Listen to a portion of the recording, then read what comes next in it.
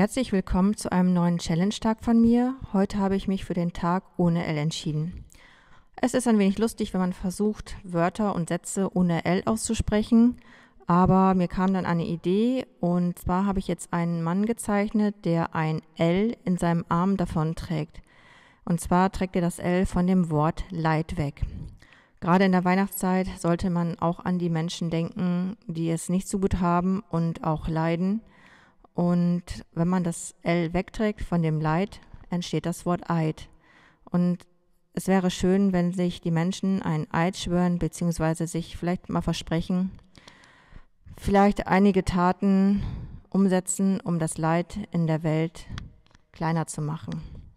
Das war's für heute und bis zum nächsten Mal.